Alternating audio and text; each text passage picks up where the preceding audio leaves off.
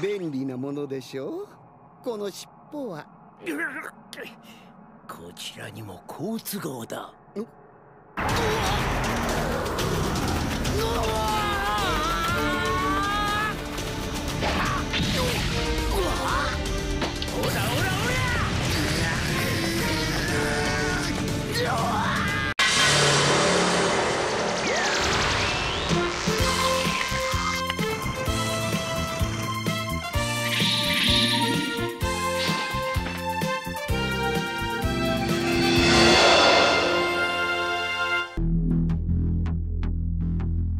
Welcome back, Happy New Year. Welcome to the first animation breakdown of 2018, and what a way to kick off this year. Not only have we finally reached the climactic showdown of the Tournament of Power, but it also marks the return of Yuya Takahashi, the animator who blew us all away with his deeply nostalgic approach back on episode 114.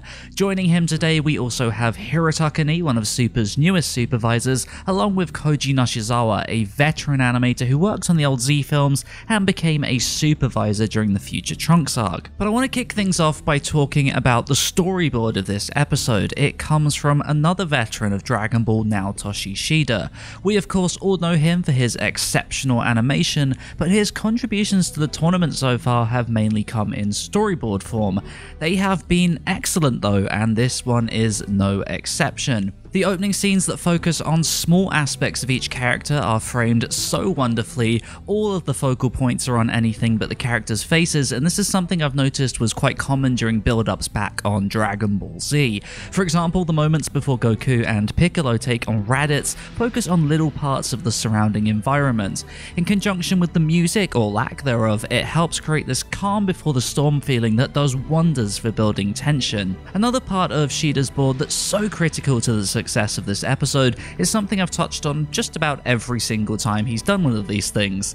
The way he links action scenes together is really just unrivaled by most of the other storyboarders on the series. You very rarely get plain old hard cuts between each fighter in a battle. For example, when Vegeta enters the battle, it happens through him zooming past Goku in the background. When it's time for a focus on Frieza following Vegeta being blown up, he enters by blowing through that aftermath smoke. When Toppo attacks Gohan, 17 shown through his disrupting Ki Blast. All of these transitions feel remarkably seamless, which is great for making this feel like one cohesive battle. In a lot of weaker storyboards, you'll find that often the transitions feel like flicking through a spectator in a game. You're kind of just swapping between viewpoints with no real sense of where the battles are taking place. To nail the flow of a large battle like this is no easy feat, so this board gets two thumbs up, especially with all of the dramatic close-ups thrown in. Shida mentioned he'd be back with his own key animation at some point soon, so it sounds like we're in for another treat before the tournament ends. Hopefully it's a little more animated than his recent contributions. So let's touch on animation then. This episode is split up into three sections. Ni supervises the first half of part A, Nashizawa does the second, and then Takahashi powers through part B. I have to say, I am totally blown away by Ni's artwork in this episode. There are several shots that I could have sworn were by Takahashi, but they match Ni's traits from the previous episodes, albeit with a far more old school touch. If Ni is taking cues from what Takahashi is doing, then he's definitely going to become one of the newest supervisors to keep an eye on in the future.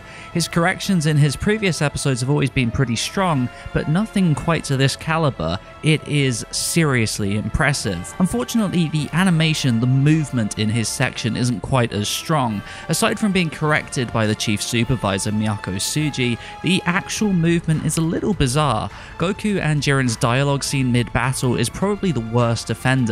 They're throwing punches back and forth, but their torsos don't actually move. It all feels a bit stiff and awkward, especially after such a grand build-up. Bizarrely, there are instances of Shida's distinctive smoke in sections of this half. While his work from episode 110 does get reused later in the episode, I can't recall any of these particular drawings ever being in Super before. I don't know if someone's just imitating him or if he did some uncredited drawings here. It's very strange though, definitely welcome. As Goku kicks Jiren out of the way, Nashizawa's section of this half begins. If you're big into very angular work, then Nashizawa's style is 100% for you. You've got razor sharp hair on all of the characters, very pointy noses, even on Jiren, and extremely sharp shading. Nashizawa's great at just about every single angle, aside from front-on shots. I'm sure I've covered this in his previous episodes, but for some reason, as soon as you make him draw a character from the front, his work falls to pieces a little, the features end up very weirdly placed. Thankfully, his actual animation is pretty good, though he makes a weird mistake with Goku's hair, drawing it in its Super Saiyan 2 shape despite everything before and after his section featuring the regular hair. I imagine he probably pulled up the wrong character sheet for reference, it's not the first time someone's done that. For example, back in episode 50, Masahiro Shimanuki accidentally drew Goku with Super Saiyan 1 hair, where the cuts before and after were in Super Saiyan 2. Not the end of the world, but I know it's caused a lot of confusion among the fans. The half ends with a very nicely drawn close-up of Vegeta, and I feel like it's the perfect way to demonstrate the difference between well-drawn and on-model, and Takahashi bringing back the old school designs. As soon as the second half kicks in, the difference is astounding. In my coverage of episode 114, I went over all of the differences between the new and old, so I won't repeat them again, but I feel like just comparing these two well-drawn but stylistically very different shots speaks volumes on their own. I also want to give a quick shout out to Takahashi's Whis, which is just the best drawing ever since Shuichi Iseki's efforts back on episode 16. It's so cool to see new characters with classic traits. Takahashi's action kicks off with Vegeta launching a flurry of punches at Jiren. This particular section is rather limited in its movement with a focus on looped frames of gorgeous art. It reminds me a lot of Kazuya Hisada's work on Z, which would often utilize similar techniques. It's snappy, very fast, and emphasized with a lot of speed lines. When he moves from this limited movement into full animation, not only is it remarkably well done, but it utilizes Shida's storyboard to the max. You've got a whole bunch of great impact frames before it moves into this rhythmic timing that holds on key poses,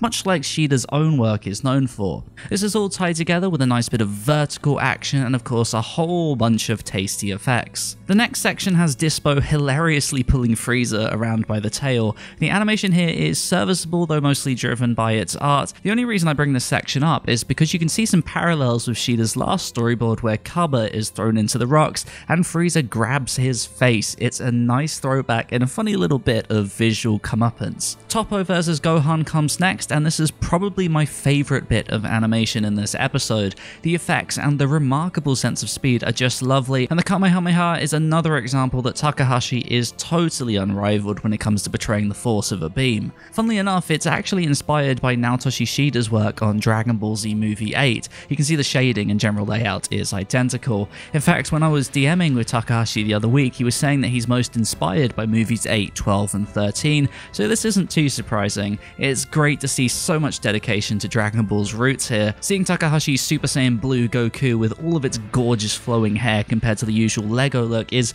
probably my favorite example of this. Moving away from Takahashi for a bit, sort of, Vegeta's final flash is animated by Chu Young Sir, though obviously corrected by Takahashi pretty heavily. I think there's only really one scene where his normal artwork slips out from under those corrections. It's an absolutely fantastic scene that really demonstrates the man's strength in his effects work. By his own self-admission, he did say the movement is quite limited and that he focused on the effects, but with how strong this scene is anyway, I can't really complain. He said he learned a lot under Takahashi's supervision too, which is just wonderful to hear. In the past, he's also said he learned a great deal from Naoki Tate and Naotoshi Shida, and I really admire that about him. I was asked to take part in Sakuga Blog's 2017 awards, and I gave Chu the Animator Discovery of the Year accolade because of stuff like this. He's incredibly driven and very humble. I'll leave a link in the description to that article if you're interested. It was a lot of fun, and you might discover some shows that you maybe hadn't heard of before. But this episode here wraps up with some gorgeous art of everyone before Vegeta gets blasted away, and I feel like that's a perfect way to wrap up my thoughts on Takahashi's work as a supervisor. His work is remarkably detailed, but as Vegeta gets blasted by Jiren, you get an absurdly cartoony and over the top expression, and that just solidifies him as one of my favourite staff on the series. When you can bring about both detail, exaggeration, and impressive movement all within a single half, you deserve all of the praise in the world. And you know what's even more mind blowing? He revealed that he put together this half in about five weeks, which is only two more than what he had on 114. He is an absolute speed demon. This episode really came together. The director Takahiro Imamura is usually very hit and miss, but thankfully he was 100% on point in this episode and nailed the tone just right, picking out the best music for each scene and ultimately ensuring everything landed as it should. What a relief. I wish I could say the same about the new ending, but unfortunately, I think this may well be the worst Super has had so far. Not only is it incredibly bland, but Tadayoshi Yamamura's artwork is especially poor. The final shot of Goku and Vegeta has really amateur construction issues. I'm a little embarrassed for him. Vegeta in particular has that dreadful gremlin hunch that he drew Goku with on the recent cover of V-Jump. Goku's arms and shoulders are far too small for the rest of his body, and the foreshortening is just all kinds of broken. I know Yamamura is not as good as he used to be, but even putting that aside, this whole ending just feels so rushed. There is possibly a good reason for this, so keep an eye on my channel over the next few days for my staff coverage video for the next month's worth of episodes. It's pretty interesting. But that is it for now. What a fantastic episode to kick off the new year. I'm so interested to see what this final battle will bring us animation wise. For once, I actually have a lot of faith that the staff will deliver on our expectations. But let me know how you enjoyed this episode and what your expectations are for this final battle. Be sure to rate the video and subscribe if you're new, and as always, I will see you next time.